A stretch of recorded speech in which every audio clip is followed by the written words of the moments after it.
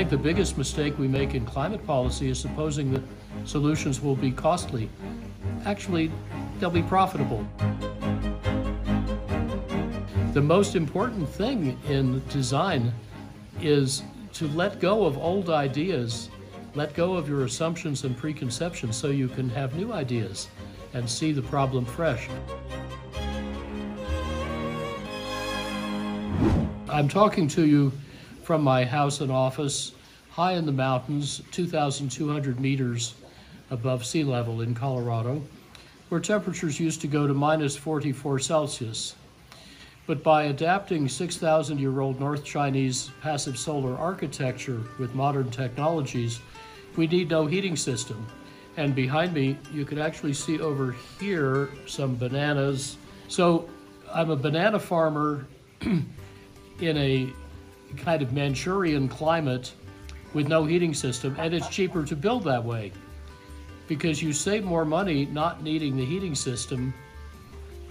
You save more construction costs, then you pay extra for the super windows, super insulation, and ventilation heat recovery that got rid of the heating system. To save also about 90% of the household electricity, half the water, 99% of the water heating energy. So in the end, all of the resource savings by this house uh, using 1983 technology, it's when we built it, uh, that paid for itself in 10 months. We've done over a thousand building designs, uh, big and small, hot and cold climates all over the world. We call this approach integrative design, where we we design the building the car, the factory, the equipment as a whole system for multiple benefits.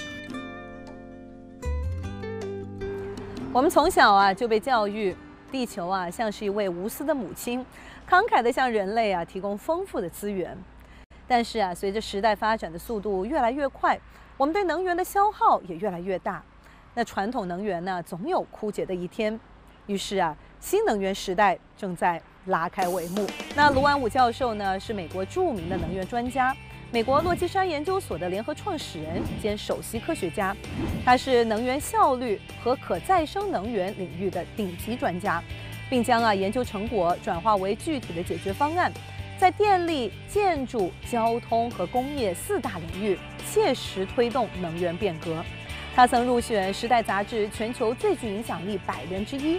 也被评为是世界一百位思想家。让我们一起来看看呢，卢安武教授这些年来在助力世界提升能效和走向新能源之路的过程中有什么新思路。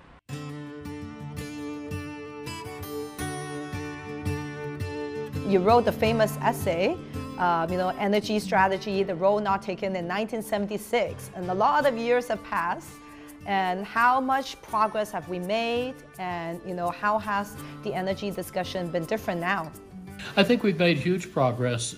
In the united states we're using uh, 60% less energy per dollar of gross domestic product than we were in 1975 in the world about 90 to 95 percent of the new generating capacity being bought and being added is now renewable efficiency is increasing about 2% a year. It needs to go about twice that fast. But I think the, the idea in that 1976 essay has caught on completely. That is, instead of just looking for more energy, more of any kind from any source at any price, we should ask what do we want the energy for? What are we trying to do with energy? Uh, maybe we want hot showers or cold beer uh, or smelted alumina or uh, cooked rice. And for each of these tasks, we should ask how much energy, of what kind or quality, at what scale, from what source will do the job in the cheapest way. It's interesting that sometimes it's not like we don't have enough energies or we don't have enough technologies, but sometimes it requires a change in mindset that you know everyone looks at you know energy and environment problem and climate problem as a very costly problem but you said that it's not necessarily so we have plenty of great technologies we will have even better ones that doesn't mean we shouldn't use the ones we have Uh, you know, it's like if you need a computer, you get the computer available today. You know it will get better and cheaper, but you don't wait.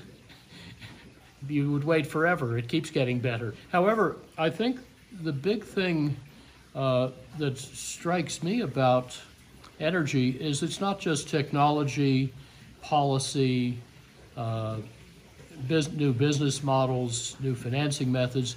It's also about design.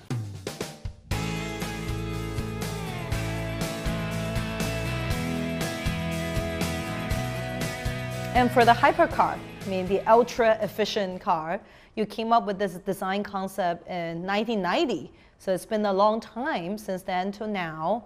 Um, you know, using ultralight construction for the car. How is the commercialization process for that now? My first hypercar uh, is out in the driveway. It's that carbon fiber German electric car, and it gets uh, 53 kilometers per liter equivalent, so it's about four times normal efficiency.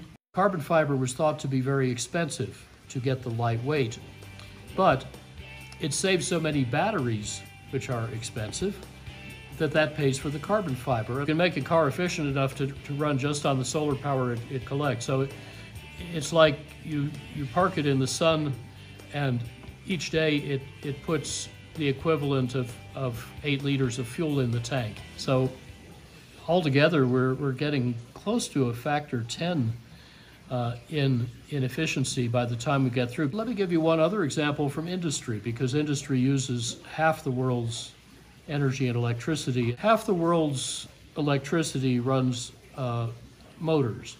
Half the motor power runs pumps and fans. But the way we design the pipes coming out of the pumps and the ducts coming out of the fans is full of friction. There are a lot of bends that shouldn't be there.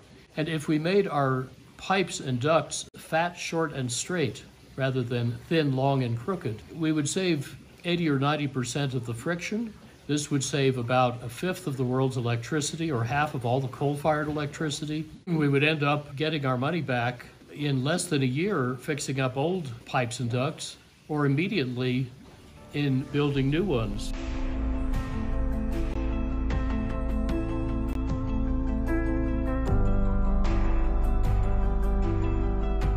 Just so interesting that people are not converting if it's as good as you said, right? And I think maybe like people have some. What are some of the you know like the major criticisms, and how would you respond to that to help people to lessen their you know concerns? Most people who hear the, the term energy conservation think of privation, discomfort, curtailment, doing less or worse or without, not doing more with less.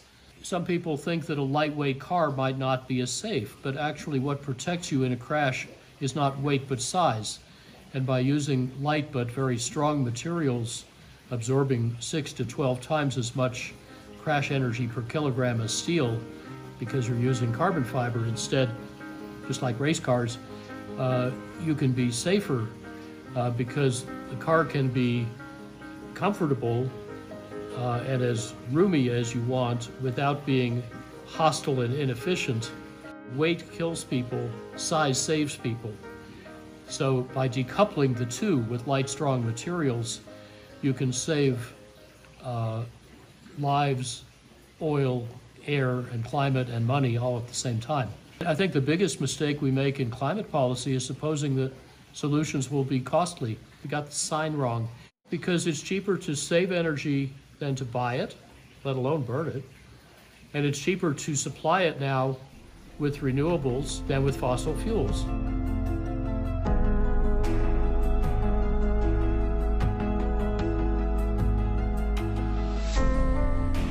We're so occupied by our conventional ways of living and our old habits and old ideas that we're not open-minded enough to receive like new ideas like these. Exactly. But Wang Shuxing, uh, you know, never forget original mind.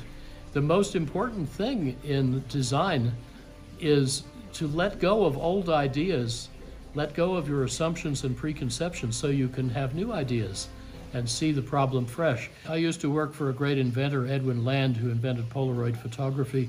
He said people who seem to have had a new idea have often just stopped having an old idea. That's the hard part. And once you state the design problem correctly, it's, the solution is self evident. The question is the hard part, not the answer. 卢安武啊，在过去半个世纪，在包括中国在内的超过七十个国家担任政府和大型企业的能源顾问。他也曾参与项目重塑能源中国。对于如何帮助中国实现经济增长与能源效率、可再生能源之间的平衡，他拥有很好的洞见。That China makes most of the world's solar and wind power and, and buys nearly half of it. Uh, it is incredible. China back in 2013 added more solar power than the United States has added for the previous 59 years combined. More wind power in 2020 than the world added in 2019. Unbelievable. The Chinese leaders are very pragmatic and they they're, they're mostly engineers. They do math very well and they figure out what's the best buy and then they buy more of it. Where 10 years ago we showed in detail how the United States could triple efficiency, quintuple renewables, and by 2050 run a uh, 158% bigger economy using no coal, no oil, no nuclear, a lot less gas, paying $5 trillion less, uh, and uh, emitting about 84% less carbon, and uh, having stronger national security and not needing any new national laws or inventions with smart state equivalent to provincial level policies or city policies uh, led by business for profit. The actual development of the market has very nicely matched what we proposed. So, of course, the Chinese government asked, what would this look like for China?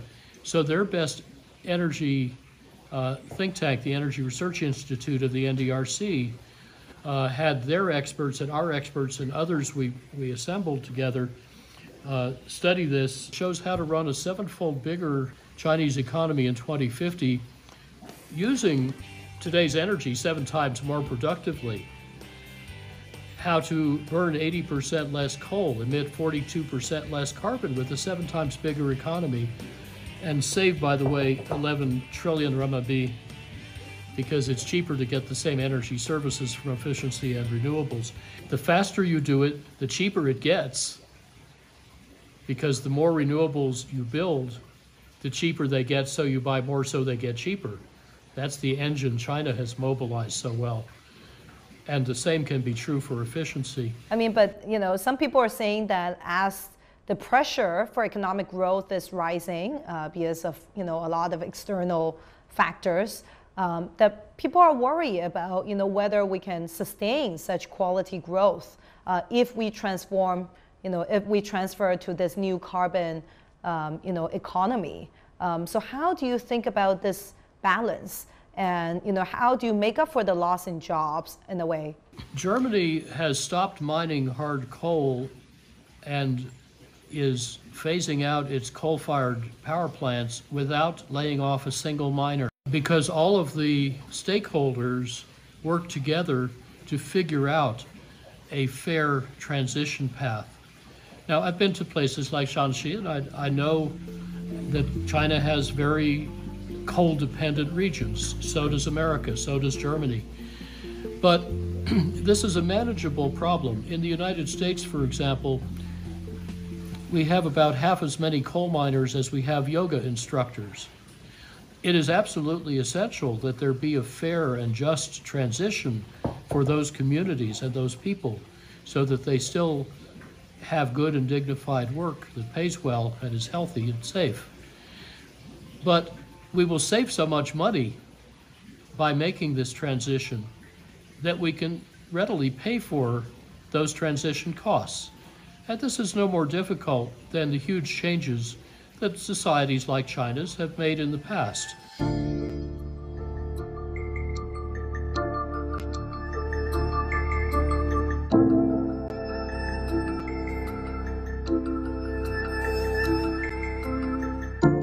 So this revolution is happening, uh, and China, I think, will continue to contribute enormously to it. China has 1.4, is it? Billion brains. Well, clearly, China has unparalleled technical and organizational capacity to build and install and connect a lot of renewable supply and to improve its factories and so on. I would put more emphasis on integrative design to speed up efficiency in all sectors. 卢安武的经历啊，堪称传奇，拥有十二个荣誉博士学位，曾荣获多项世界大奖，出版书籍三十一本，发表论文超过八百篇，却曾从哈佛大学和牛津大学退学，还曾在包括北京大学、斯坦福大学等十所大学教授完全不同的、自己从没正式学过的专业，比如说道教与生态环境，引令自己永远保持好奇。究竟是什么样的成长经历造就了他呢？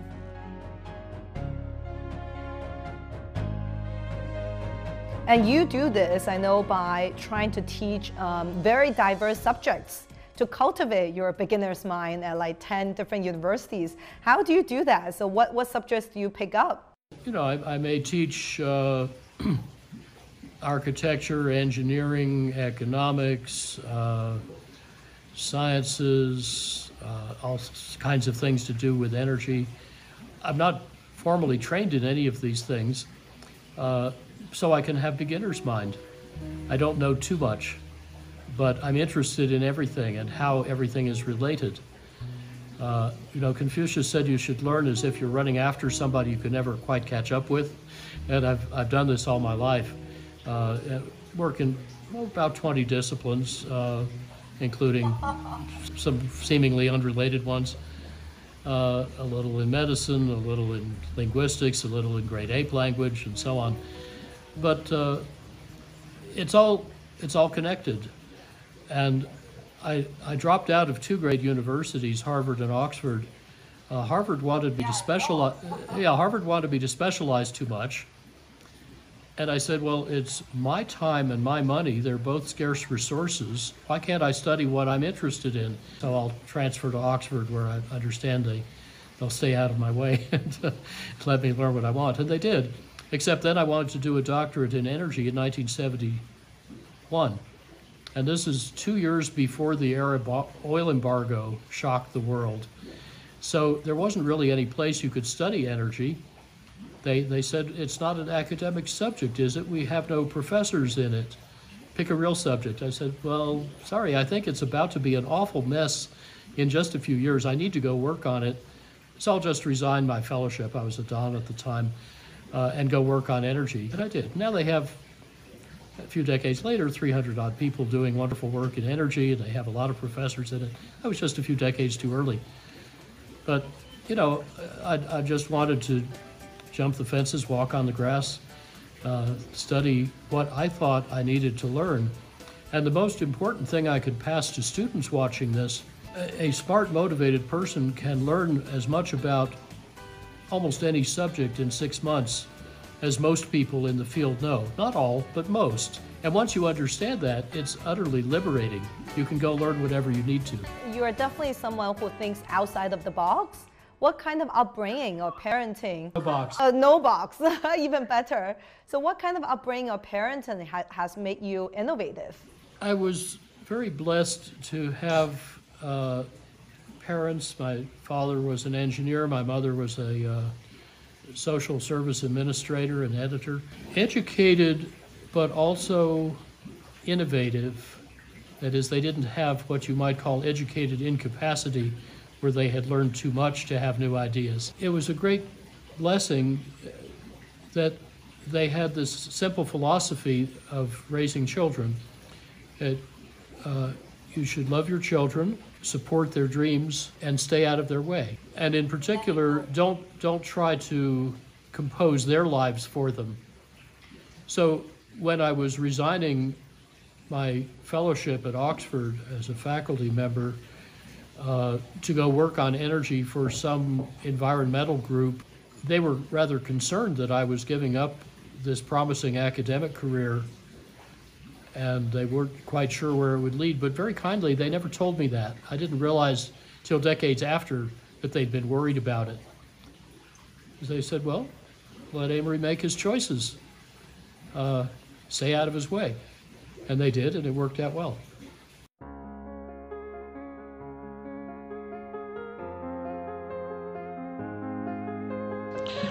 Hope, said Frances Moore Lappé, is a stance, not an assessment. But applied hope is not mere glandular optimism. The optimist treats the future as fate, not choice, and thus fails to take responsibility for making the world we want. Applied hope is a deliberate choice of head and heart. The optimist, says David Orr, has his feet up on the desk and a satisfied smirk, knowing the deck is stacked. The person living in applied hope has her sleeves rolled up and is fighting hard to change or beat the odds.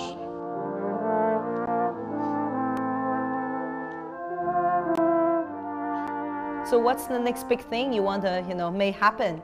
You're definitely, you know, a big dreamer. You're not to dream and may all your dreams come true through hard work. Well, besides being a husband and grandfather and friend to many people, I would like to continue to make the world better as long as possible. Um, I'm only 74. My parents both lived to 97. Uh, and I think, in a spirit of applied hope, uh, I should be able to contribute a good deal longer. I think my, my next big thing is to spread integrative design in all sectors and uses and countries and just make it the standard practice. Many wise people have said there's nothing you cannot achieve if you give away all the credit. Everything's going to work out all right in the end. If it's not all right now, it's not the end yet. Don't let it bother you. Just relax and keep on going. 卢安武教授啊，非常有活力。他七十多岁人了，一大早啊六点起来准备接受我们的采访。那采访完以后呢，还拿着手机带我看了一圈他的房子和各种各样有意思的东西。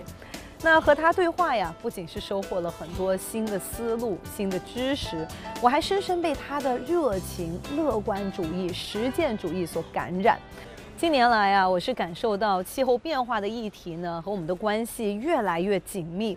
那有报告显示，就说过去十年呢是有记录以来最热的十年，而过去五十年来的气候变化现象呢，有百分之九十几的可能都是由人类活动所导致的。